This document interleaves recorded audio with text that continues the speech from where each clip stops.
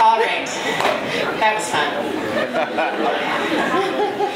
Um, and to close our evening, we are going to bring back Adam Russell, who's going to do a last song for us, Being Alive, uh, that, that we want to dedicate to Elaine.